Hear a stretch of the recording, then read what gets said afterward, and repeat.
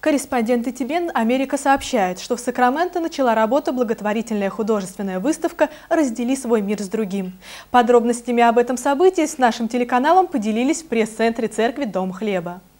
Здание церкви «Дом хлеба» на время мероприятия превратилось в выставочный зал.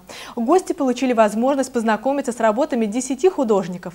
Большинство из них – жители Сакрамента. Свои работы также предоставили художницы из Украины и Финляндии. Пастор церкви «Дом хлеба» Александр Шевченко поблагодарил посетителей и совершил молитву благодарения Богу за содействие во всех вопросах конференции для всей семьи 2011, частью которой и является благотворительная выставка. Сакраменто, 100 столько народа. Первый вечер 260 человек посетила выставку.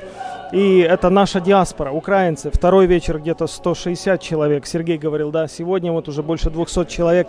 Люди смотрят, общаются. Я смотрю, дети рассматривают это. То есть это замечательно. Основная цель это все-таки сбор средств. Если э, кто-то приобретает работу, все до единой копеечки идет фонд помощи талантливым детям-сиротам. Раздели свой мир. Если твой мир богат, богат красками, богат возможностями, раздели его с людьми, у которых нет ни красок, ни возможностей.